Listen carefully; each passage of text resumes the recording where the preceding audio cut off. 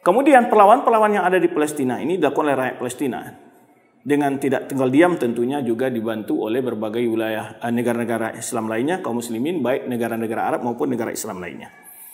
Namun ada satu kendala yang perlu kita ketahui bahwa perjuangan Palestina ini berlarut-larut dan tidak berhasil untuk menyatukan kekuatan adalah karena di dalam pejuang-pejuang Palestina itu terdapat perbedaan-perbedaan baik di segi ideologi maupun partai. Nah, kita ketahui di, di negara Palestina ini ada beberapa partai. Yang di antaranya adalah Hamas, ada Al-Fatah, ada juga PLO dan beberapa partai lainnya. Tetapi yang terbesar ada tiga partai tersebut. Nah, ini perlu diketahui oleh kaum muslimin. Sehingga saling berganti di partai ini kadang-kadang terpilih presiden dari partai ini dan terpilih presiden di partai ini.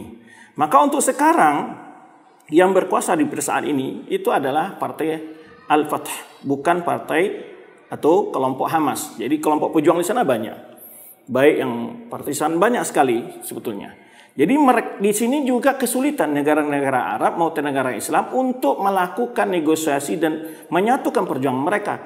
Karena sesama mereka sendiri pun tidak menyatukan visi dan misi. Di sinilah kelemahan perjuangan Palestina. Ini yang perlu diketahui oleh kaum muslimin.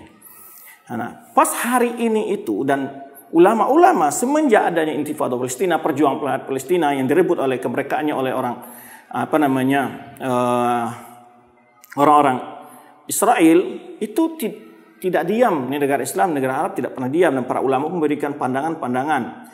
Ulama-ulama memberikan pandangan dari segi hukum-hukum agama. Di antara pandang ulama adalah menasihatkan seperti baik Syekh Bimbas, Muhammad Sallallahu Alaihi Syekh Al-Albani yang mereka bertiga ini hidup dengan melihat berbagai perjuangan rakyat Palestina memberikan masukan bahwa rakyat Palestina dalam kondisi tidak mampu dari segi kekuatan ya untuk melawan Israel yang mendapat dukungan dari negara-negara barat. Utamanya adalah Amerika, Prancis dan Inggris. Nah, sehingga kalaulah jadi peristiwa apa yang terjadi di Palestina ini sebetulnya kezoliman yang dibiarkan oleh PBB dan oleh sejarah negara dunia secara umum.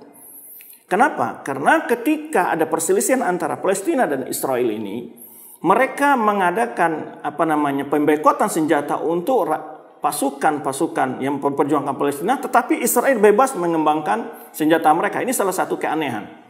Makanya pernah saya mengatakan pada tahun 2010 ketika ada uh, katanya Hizbullah mau memerdekakan Kudus dan sebagainya, katakan itu semuanya adalah permainan-permainan. Sebenarnya solusi untuk menyelesaikan masalah konflik itu dengan cara mengambil senjata kedua belah pihak dan tidak membenarkan kedua belah pihak memiliki senjata-senjata pembunuh massal atau uh, apakah itu perlu kendali ataupun uh, apa namanya alat-alat tempur sehingga mereka kalaupun terjadi pertempuran mereka paling hanya pakai batu, pakai kayu dan tidak terlalu memakan korban jumlah yang besar.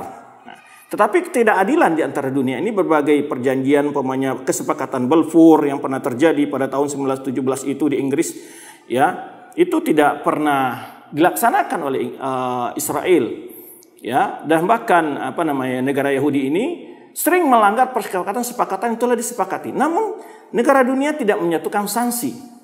Ya, tidak adil. Seperti mereka menyatukan sanksi kepada Saddam Hussein atau kepada Afghanistan. Nah, inilah kezoliman ini yang sangat nyata.